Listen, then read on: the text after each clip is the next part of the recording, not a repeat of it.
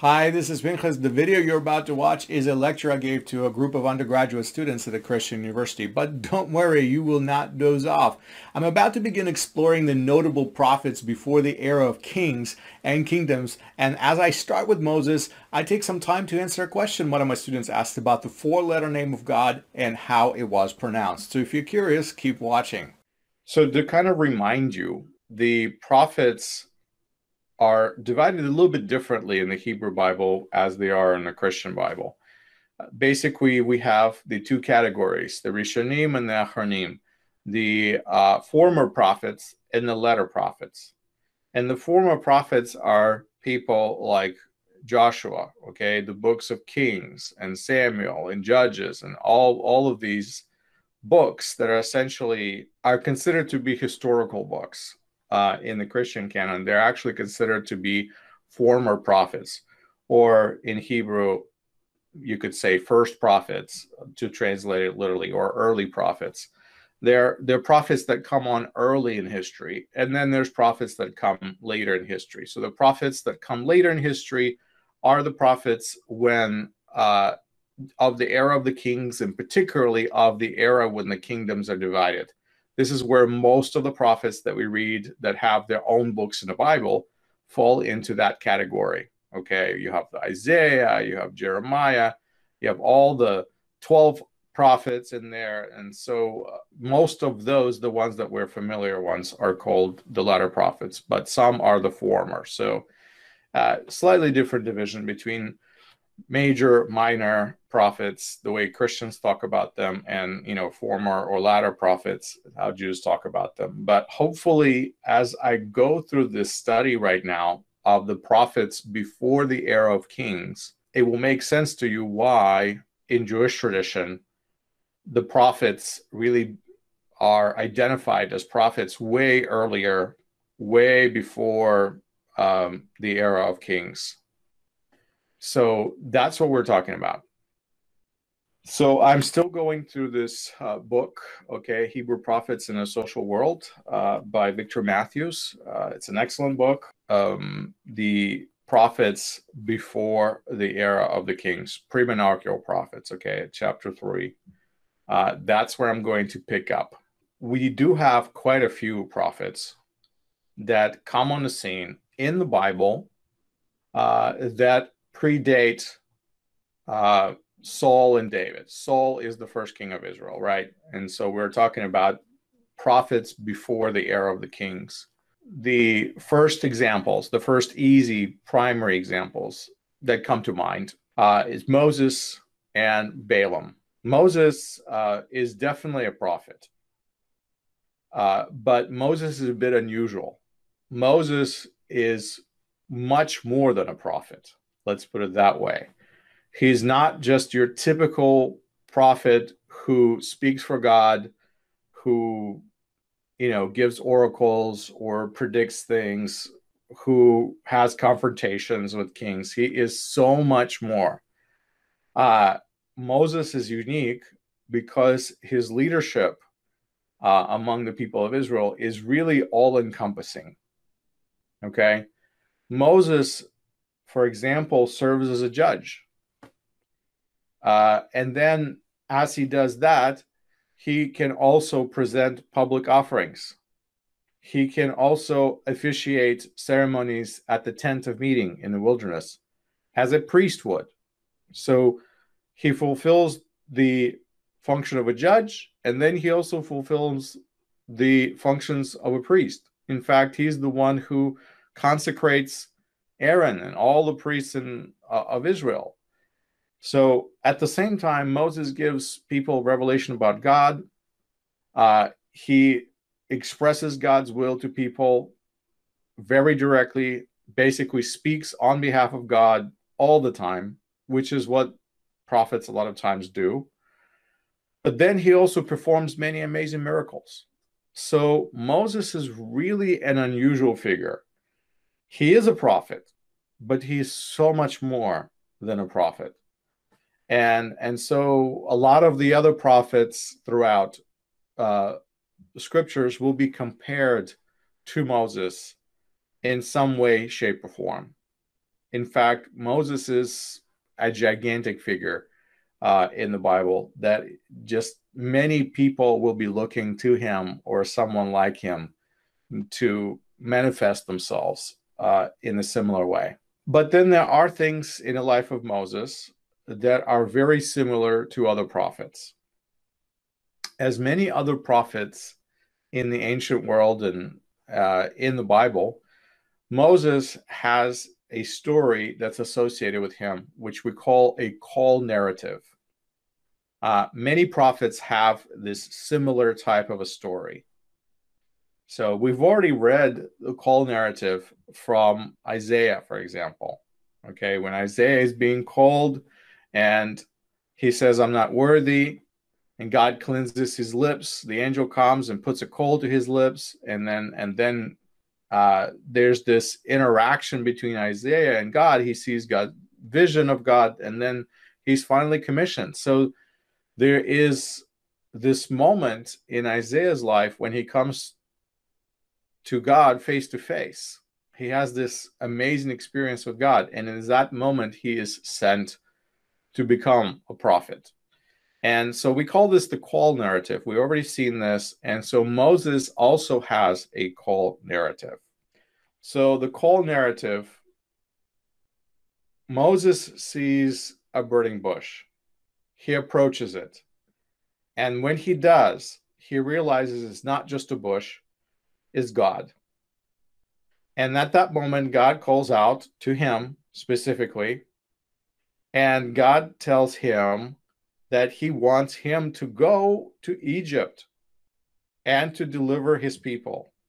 Now, if that's not a call, then I don't know what a call is. But in this case, he says, Go back and deliver his people.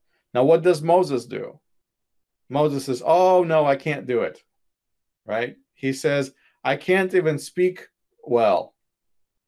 So he gives God an excuse. Remember, a lot of times in the call narrative, there's an experience of God, you know, very supernatural, very face to face. God tells him, God tells the prophet, I want you to do this for me. And the prophet usually says, Oh, no, I can't. So you see, in Isaiah's case, he says, I'm not worthy. I'm a man of unclean lips. I come from the people of unclean lips. So what does God do? God changes that. He he fixes it. He makes a remedy, right? He cleanses him. So same thing with Moses. Moses says, I can't speak. So he says, Don't worry, I'll bring Aaron to speak for you. You see, his excuse is nullified. God says, Don't worry, I'll take care of it.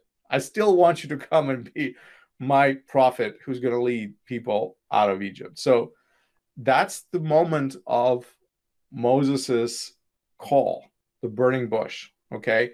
And then also there's this empowerment. So just like Isaiah received special empowerment by having his lips cleansed, and now we can imagine that his lips will say God's words, right? Because he's been supernaturally prepared to speak for God. In the same way, Moses is supernaturally prepared to speak for God because then there's that moment where he says, Well, what is your name? Like, who should I say sent me, right? So God tells him his name. So now that he can go to Israelites and speak in the name of this particular God, and then he says, Well, how what if they don't believe me? Then he gives them a miracle working power, right?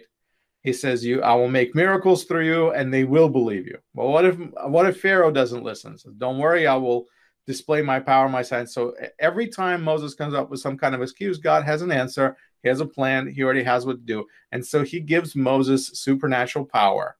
Okay. He actually illustrates it to him by having his hand turn white and then turn normal. So you see that there is a a symbol of God's power is present at the moment of this call narrative. So Moses has a call narrative that is very very powerful. In fact, it is during this call narrative that we get the name of God. Okay? So a lot of times uh, people um, sort of say focus on this idea of God's name. In fact, both of the textbooks, you know, that we're looking at um, are using God's name, and they call the name Yahweh, right? So you've read this. You've read this in your main textbook. The author talks about God being named Yahweh. And so did uh, Matthews. Matthews keeps using the name Yahweh. I don't know if you notice or not, I don't use that name. so, and there's reasons why. Uh, because essentially it is a name that was made up by scholars in the 20th and 21st century. It did not really exist prior to that. I guess I'm more traditional and I simply do not uh, use God's name. That's how I grew up. That's how I was raised. Um, out of respect, I just call him God or I call him Lord. But his personal name uh, is not possible to know because it's not spelled out in Hebrew. Uh, when you read Hebrew uh, in the original text, in the ancient scrolls, there are no vowels. So all you have is four consonants. You have Hebrew letter Yod, Hebrew letter Hey, Hebrew letter Vav, and another Hebrew letter Hey. All those are consonants, no vowels. And so nobody really knows what vowels go in between those consonants. The scholars have extrapolated the uh, vowels that they believe go in between those consonants, and that's how they come up with the name Yahweh. Okay, but they don't know. They actually are guessing, essentially. And it's an educated guess, but it's still a guess. So um, when God revealed his name to Moses, the record that we have does not have vowels, it only has consonants. And so the only way we can know these things is by tradition. And tradition has been not to pronounce God's name uh, so that not to dishonor it, essentially. Anyway, there are different perspectives on, on God's name. So if you ever wonder why I'm not using the name Yahweh as I teach uh, and I lecture, I guess I'm a bit more traditional in that sense that uh, try to be respectful by not trying to use a name which I'm not even sure is a real name. It's kind of a made up name, let's put it that way. For thousands of years, Christians called God's name Jehovah until the scholars later came up with, oh, that's not how it's pronounced. That's pronounced Yahweh. But Christians used the name Jehovah. And the reason why Christians use name Jehovah is because in the uh, eventually the Hebrew scribes invented vowel markings. You see, Hebrew language is a consonantal language. It has consonants which are part of the alphabet. The alphabet is made of only consonants, and vowels exist, but vowels are not part of the alphabet. Vowels only implied. You can read Hebrew without vowels all the time. In fact, if you were to travel to Israel and you see a road sign or a billboard, it's not going to be written with vowels. It's going to be written in consonants only. And because you know the context, you will be able to understand what those words are. You can read English without vowels too, by the way. Essentially, what happened is when the scribes came up um, with the vowel markings, they made them up. Uh, and they made them up anywhere probably around 5th century, maybe 8th century of the Common Era. So we're talking about there's no vowels in Hebrew till about year 500 or maybe 800 of the Common Era. So imagine that. 500 years after Jesus, the scribes come up with some squigglies to represent A, E, I, O, U. Okay, that's what they did. And the re- there's a reason why they did that is because many people are forgetting how to pronounce the text correctly. So what they did is they placed the vowel markings above and below the original letters.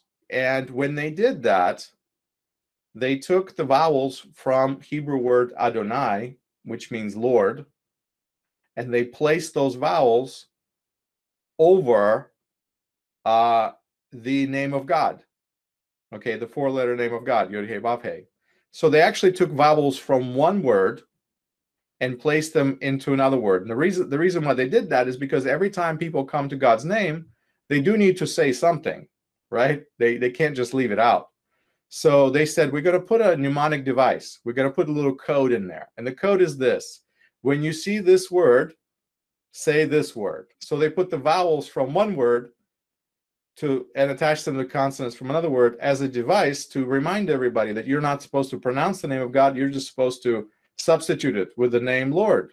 Okay. That's why they took the vowels from the word Lord. So when they did that, of course, Christians who read those texts later on did not know this. They didn't know this tradition.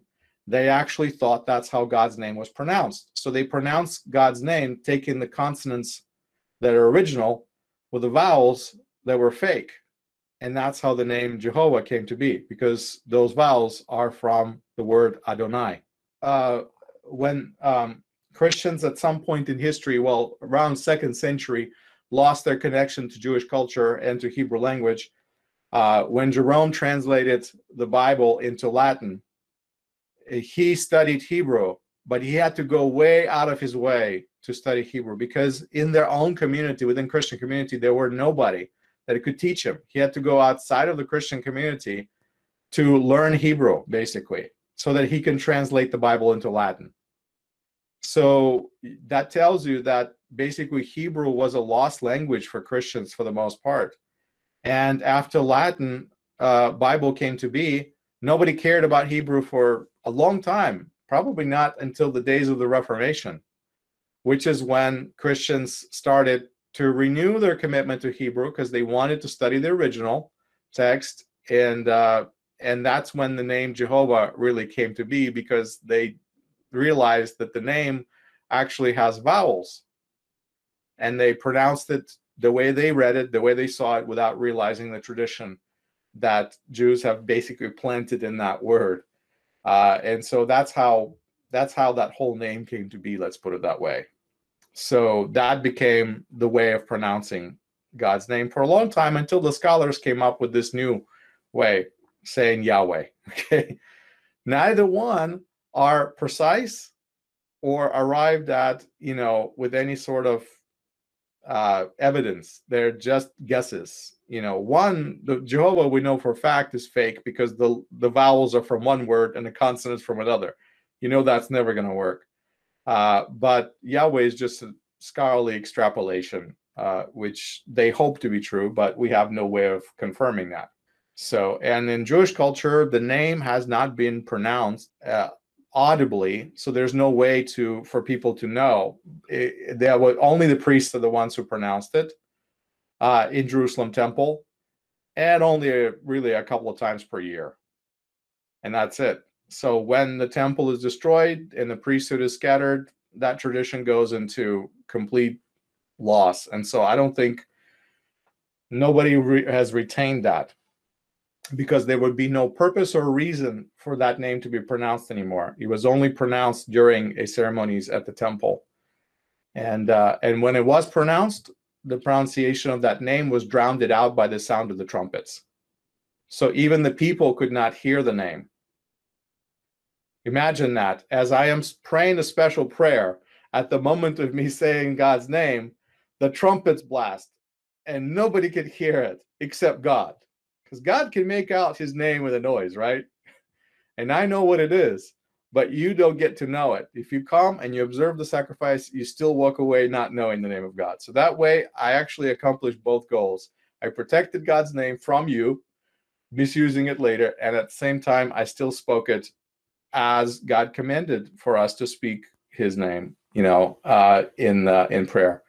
So anyway, it's a complicated and long tradition when it comes to God's name, but uh, it's um, it's worthwhile, sort of say, knowing about it. People are really focused and kind of zeroed in on having to pronounce God's name, but Jews have lived without it for thousands of years and still goes on, and, and it's not a problem. So somehow we have no problem with addressing our earthly parents with a way of respect, we would never say their their actual name. We would address them by their title. Mom, dad, you know, something like that. Those are their titles. But for some reason when it comes to God, we have to say it with his personal name. We can't just be happy with calling him Lord or God Like that, we got to be able to say his name. I'm like, we don't do that with our earthly parents. So why, why, why such a big difference? Anyway, we have a little double standard going on here, is what I'm trying to say. Uh, if that works with our earthly parents, it should work with God. So that's that's my perspective on it. Anyway, that's the easiest way I can explain it. What's been going on for thousands of years in Jewish tradition.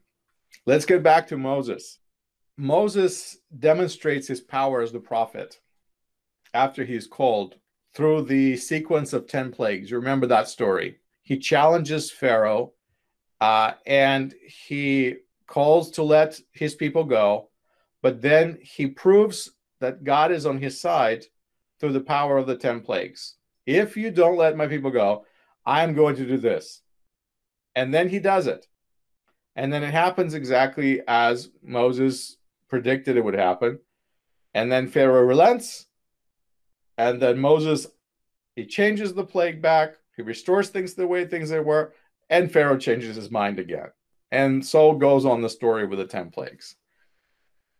But as you could see with Moses, his authority as the prophet is validated right away, immediately, through a very clear demonstration of God's action. God proves that Moses is his prophet through these miracles, and he does it right away. There's no waiting period. There's no 20 years, 40 years, 50 years, 100 years. What Moses says will happen happens right away, and God's power is revealed right away. That doesn't happen with every prophet, but uh, with Moses, it's very clear. It's interesting that later on in the story, as you continue reading uh, uh, the five books of Moses, you learn that Moses delegates some of his authority to 70 elders. At some point, it becomes too difficult for Moses to handle everything. Uh, and so he gives, uh, God gives the elders uh, in the community of Israel his spirit. And people are overcome by God's power and they prophesy right away.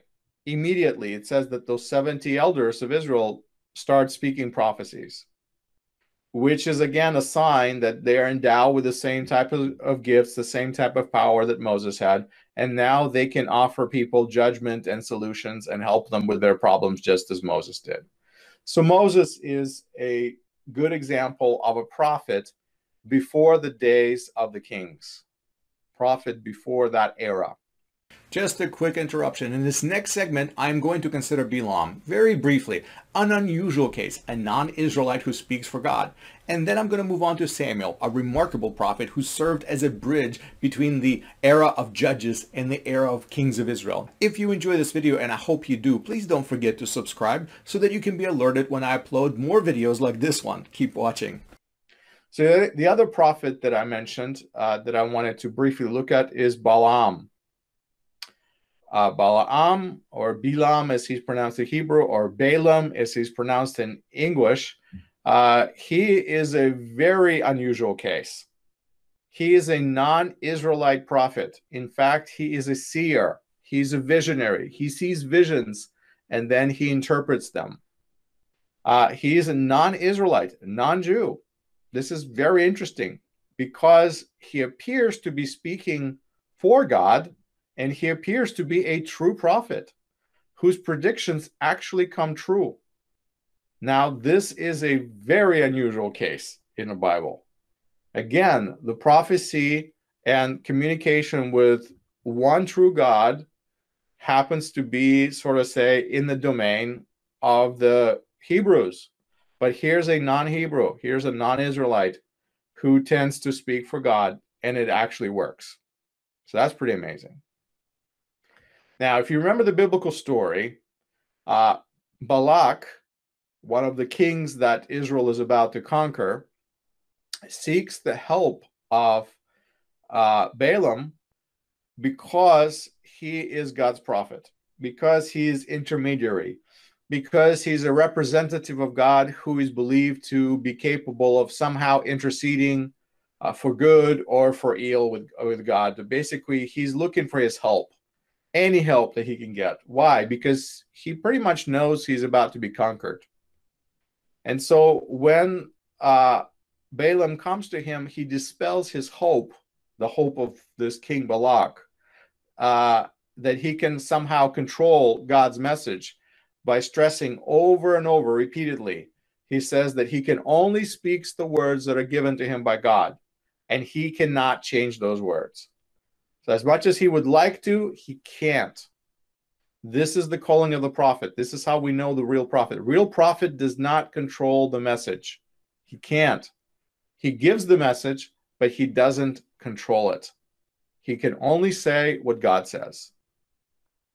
So uh, Balaam is an interesting case. He's not a stranger to divination. Remember, he's a pagan. He's a non-Israelite, and he used divination. We talked about what divination is: determining things from physical signs, determining meaning from physical signs. So he does use divination. He does use sacrifices because he's trying to procure God's favor, and that's a very common way in the Near East to approach the divine.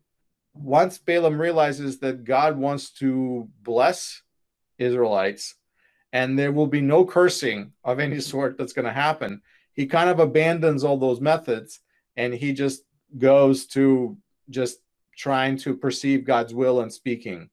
So he he dispenses with sacrifices and all those things later on.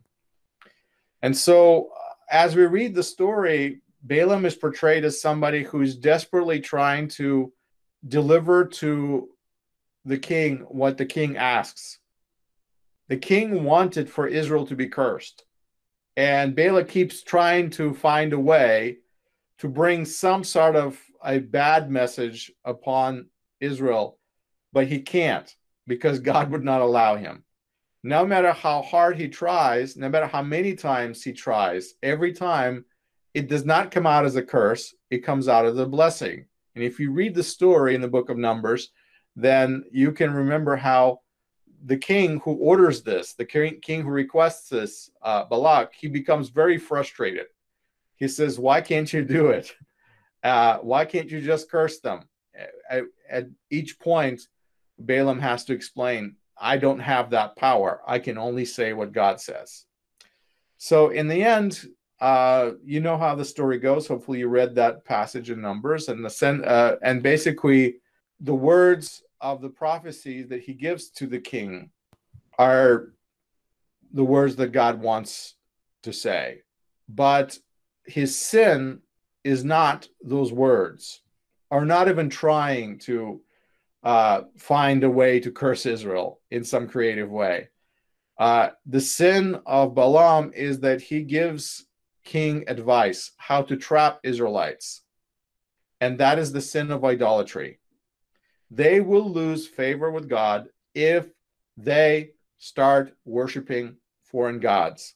And so, uh, if you remember the story, there's a plague that starts in Israel because Israelites join themselves uh, with idolaters and basically have a big wild orgy and and that's what takes israel down essentially. So that's the sin of uh, balaam not really the words that he said. In the end he gets killed uh, in the war with midianites because he is a diviner. He is a pagan prophet. In the end he is uh, uh he practices that which god forbids clearly. Divination is forbidden in Deuteronomy, and communing with other gods and things like that is clearly not something that God approves of. So he does get killed. Uh, but um, as we read these passages, it's important to note that Balaam is still a very significant figure, very unusual figure, a non Israelite prophet who actually acknowledges the God of Israel and seems to recognize that he is true God and his power cannot be subverted, his power cannot be denied. And this is what we call universalism. So, from time to time in the Hebrew Bible, you will see this theme of universalism, meaning that somehow non Israelites, non Hebrews understand that there's this one God, God of Israel, is a real God, while the whole time they're living in the world of many gods yet somehow they're able to acknowledge this one God and their power. That's what we call universalism. That will pop up from time to time in the Hebrew Bible. In some t- moments, stronger, and in other moments, weaker, but uh, that will happen. So that's king. That's prophets before kings. Those are the two examples that come to mind right away um, that are very significant. There is another prophet um, that is sort of on the on the edge. He's he's the bridge. Okay, his name is Samuel. Uh, Samuel is another very colorful, very unusual, kind of like Moses prophet. What makes him so unusual are several characteristics. You see, prior to the days of Samuel, it was the days of judges, and judges uh, basically governed or ruled or provided leadership to people in some way, shape, or form. But this era of judges is characterized by significant social and religious and political chaos. Things are in disarray. There is no central government in Israel. There's no central government. There is no central authority. Uh, there's no, not even centralized worship. It, people are not organized.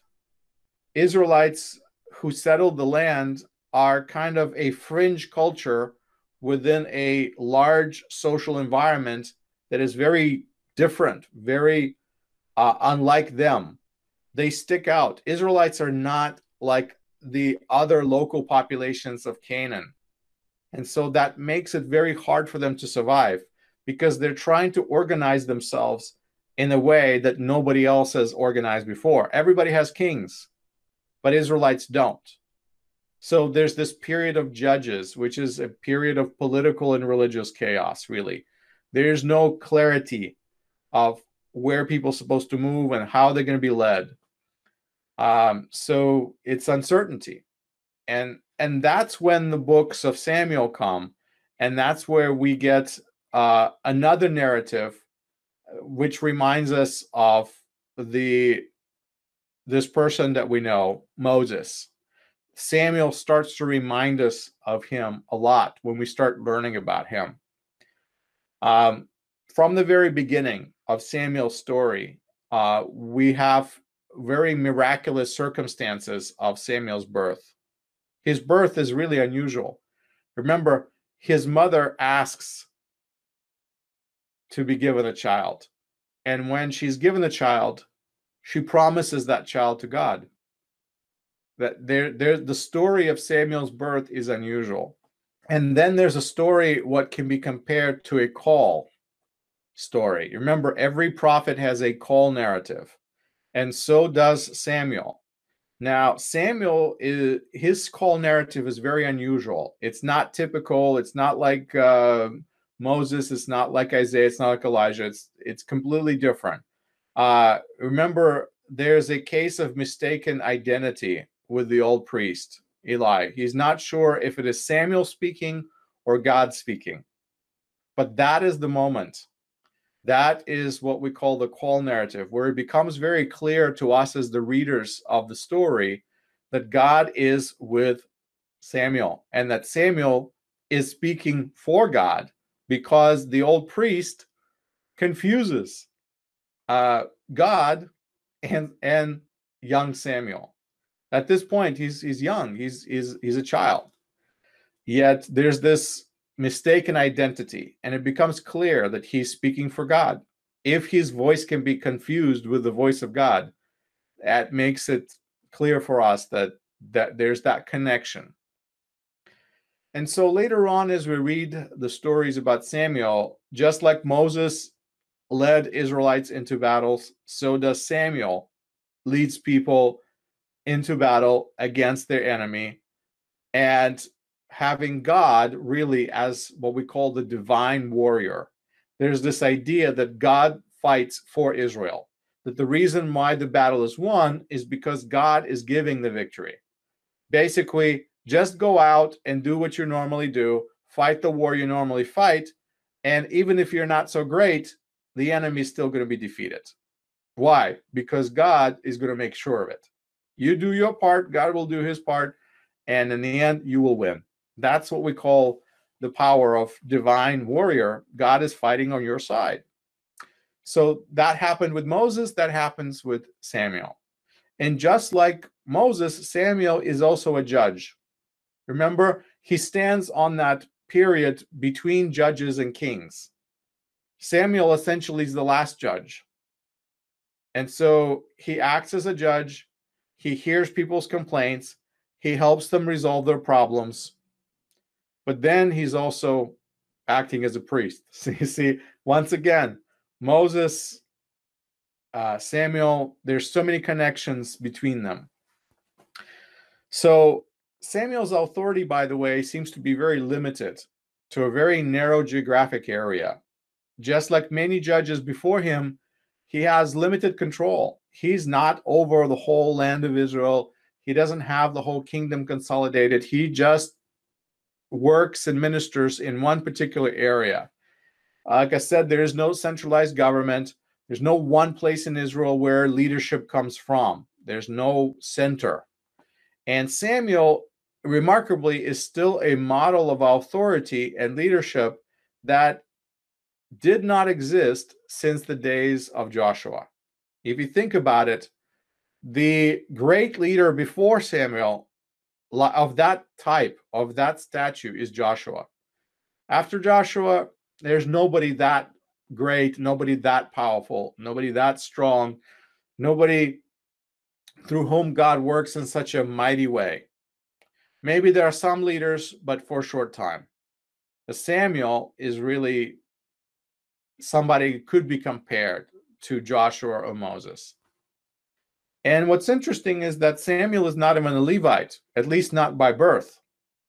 Yet he performs priestly functions, which suggests to us that uh, the priesthood was something that could be obtained not necessarily genetically, but through adoption as well. Because remember, uh, his mother gives him to the temple, she gives him to the service of God.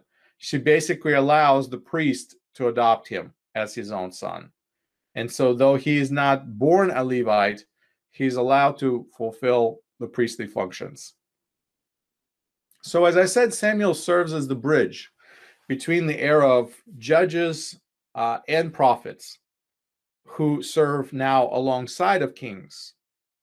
He serves as the bridge between the prophets before there was a centralized power of the kingdom uh, and then who served you know, during that age of the kings. In fact, Samuel defines what uh, what it will be like for the prophets while the kings are on the throne. Samuel kind of sets up the pattern of what it's like to be a prophet while there is also a king. And Samuel also brings about certain unity and centralization of power uh, through his own authority, through his own ministry, but also by uh, setting up a king. And so, and and that makes Israelites fit a little bit better into the social climate of their neighbors. Because remember, up until this point, Israelites do not have centralized government that is led by a king like everybody else around them does. They are the unusual ones. It's me again. The rest of this segment is about Samuel and his role in the establishment of the monarchy in Israel. Now, the struggle between the words of the prophets and the behavior of the kings began almost immediately. Now it's about Saul and Samuel. Though Samuel is not entirely enthusiastic about establishing a monarchy in Israel, he does announce the first king of Israel. So he obeys, you know, that's something that it's a request he takes to God. It's a request that God goes along with, and that's the request that satisfies the people, basically. It becomes one of the duties of the prophets after Samuel, because Samuel provides the pattern, is to anoint kings. If you think about it, the kings in the history of Israel are anointed by prophets. And it all begins with Samuel. And it is Samuel who confers God blessing upon uh, the reign of, of this king. And it is Samuel who is really the representative of heaven. He's the representative of God. And he confers God's blessing upon the king. Samuel is the one who picks the king. Well, God picks the king, but then Samuel is the one who has to follow suit and present uh, this one particular person as God's choice. And then he anoints the king. And the symbol for anointing, the oil that is being poured out on the king's head, is also a very beautiful and a vivid picture. It's a symbol. If you don't know this, the uh, oil was used in all areas of life. Uh, ancient Israelites used olive oil for cooking, uh, for food, for cosmetics, for medicine. Uh, basically, oil is everything. It's like a staple. You can't live without oil. It's it's one of the major food groups. There are three food groups that are most important to ancient people: bread, wine, and oil. Uh, you can't live without those three things. Got to have. Uh, and so, oil being that symbol of a staple, a provision from God. So, anyway, that's what the prophet anoints the king with, which is also symbolic. So, as we read the story of Samuel, uh, we see King Saul, who's anointed. The challenge that Saul has is to be different from those kings who surround Israel. But he doesn't know how to be different. It's not like somebody else did this before him, so he can know what to do. So Saul struggles. It's unusual because Israelite king is accountable to God and accountable to God's laws, and he also must follow the directives of God's representative. In this case, it's Prophet Samuel. That does not exist in other cultures around Israel. In other cultures, uh, kings are not accountable to God. They make their own laws, and they certainly do not listen to the prophets. They may listen to the prophets to interpret some uh, oracles and to give them some symbols and some insight into the will of God, but the prophets cannot argue with the king. The prophets cannot chastise the king. They cannot put the king in their place. In other cultures, that is not happening. But in Israel, it does. And that is a whole new dynamic that's very different.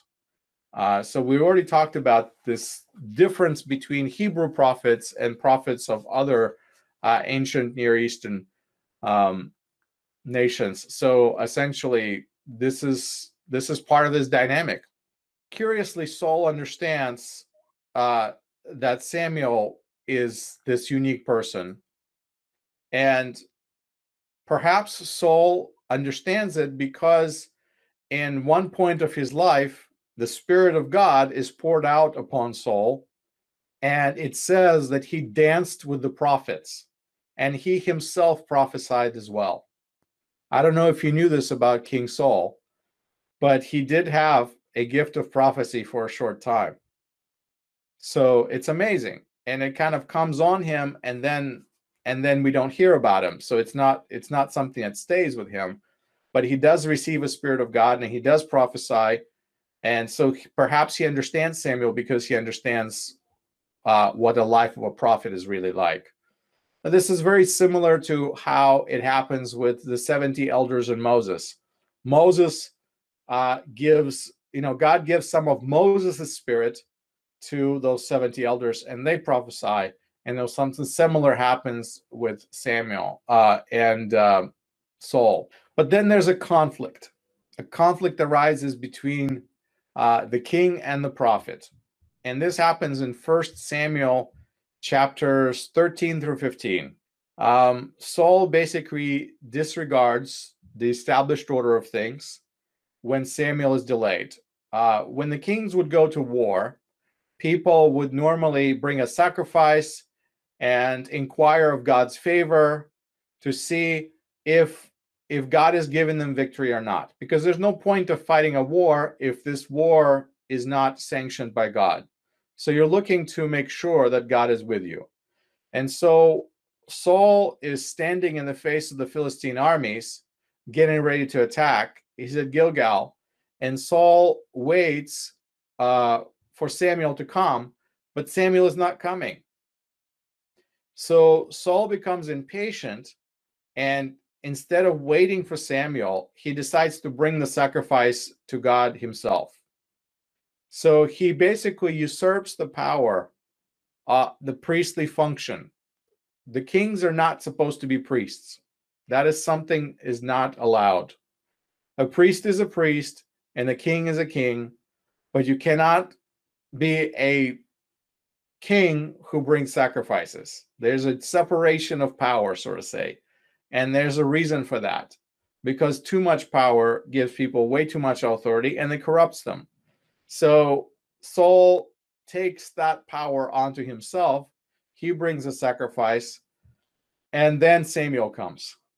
The impatience that King Saul shows shows that the, he disregards God and his ways, and he demonstrates that he's willing to bend the rules and force his will when it's necessary, no matter what the rules are, because he feels like the situation that he's in is necessary to do that. He does what whatever he thinks that he needs to do, and despite of all the rules, the rules don't matter.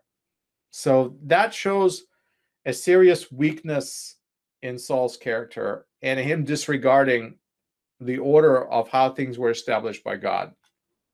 So that's the first conflict uh, between uh, king and the prophet. Remember, we talk about how kings and prophets often have this conflict. They have this very difficult relationship. Okay, so that is when it happens. This is the first king of Israel, and this is the prophet uh, with whom he has to work together. Uh, in the end, they have this conflict. So the second conflict between king and prophet arises when Samuel calls on Saul to conduct what we call a holy war. Okay, in Hebrew it's called the cherem. Uh, it, the war is against Amalekites. Amalekites are the old enemies of Israel, way, way, way, way back from the days of Exodus. It was in the wilderness when the children of Israel just came out of slavery that Amalek came and attacked people. And if you remember the story, Moses and the people fought them off. This is when Moses needed some help holding up holding up his hands. Remember that story. So that's the battle with Amalek. Amalekites have become the perpetual enemies of Israelites, and God decreed for them to be completely wiped out. So Saul is instructed to destroy everyone in uh, Amalekite camp and destroy everything, destroy everything, burn everything, but basically Saul disobeys.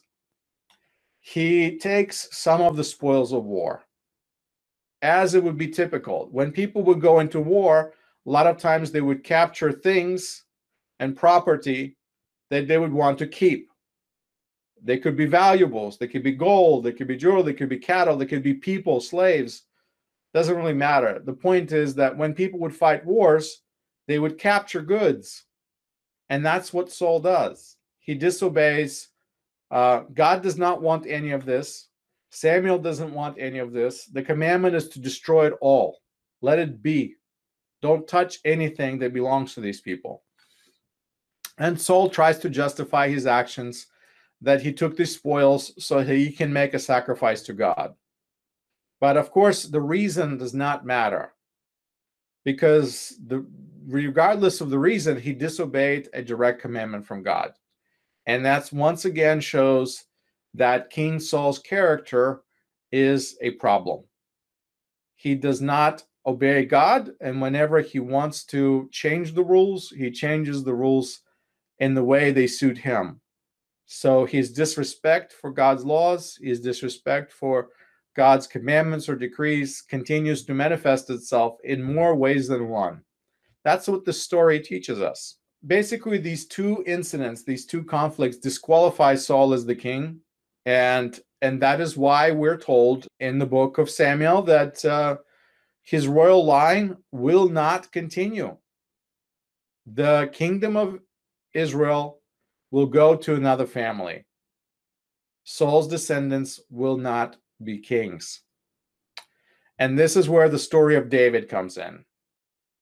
Samuel is also involved in the selection of this new king. If you remember reading that story, he picks uh, David through a series of circumstances. Again, God guides them and God gives them instructions, but Samuel is the one who picks them, and Samuel is the one who ultimately anoints him. Uh, what's different about David is, unlike Saul, David later receives an assurance that his dynasty will last forever. His line will be kings in Israel forever. Why? Because God promised so. Why does God make that promise is a different story, but the fact is he does. And then Samuel, of course, anoints David. Uh, at that moment, none of this is revealed yet. Samuel never gets to see um, David ascend to the throne because Samuel dies and Saul continues living as the king of Israel. You cannot dethrone a king at that point. So his his life has come has to come to a natural end, and David actually has to wait for a long time to become king. So there's one final prophetic role that Samuel played that actually occurs after his death. Uh, king Saul was completely cut off from God. If you read the story, you remember that he is in a very dark place. Uh, there are no other prophets who serve him. There's no way that King Saul can hear from God. And King Saul, in all of his disobedience, he's still desperate to hear God's will. He's afraid of the Philistines. He's afraid that his kingdom will come to an end because the Philistines will take over. So he needs to hear from God. But prophet Samuel is gone. So King Saul breaks a another cardinal rule he ignores one more commandment that is really an important one. He basically goes to consult a witch, another visionary, another individual who speaks to the dead. And he's asking to summon the spirit of Samuel so that Saul can know uh, the will of God. So the length that Saul goes to are remarkable. And it's amazing that Samuel actually does come from afterlife and does speak to King Saul, uh, but it doesn't work out the way the king expects it. The king does not get what he wants from the prophet. Uh, the prophet does not give him the will of God. In fact, the prophet tells him something that he doesn't want to hear. Because in the end, the prophet is not God, he's not divine. He cannot be consulted through spirits or mediums. He you can you're not supposed to speak to the dead. He's just a human being. And uh, and the prophet cannot change the course of events. The prophet does not control the future. Uh, he only speaks what God will do. So it's very disappointing, but this is the last thing that happens in, in Samuel. Curiously, it's not during his even lifetime, it's after he's already dead. But you could see that Saul, King Saul, is so far from God at this point. He continues to follow that pattern uh, of making bad decisions and bad choices. Uh, so that's another uh, story about a prophet who really comes as the bridge between the era of the judges and the kings. Uh, once Samuel dies, and once the new king is established, once the kingdom is now centralized, at this point on, all the new prophets, all the successive prophets will be serving alongside with the king. And in that era, when Israel is being governed uh, not through judges, not through some military re- leaders or prophets, but really it will be in the hands of the king. The administrative power will be in the hands of the king, and prophets come alongside of kings to continue to reveal what God wants uh, from his people.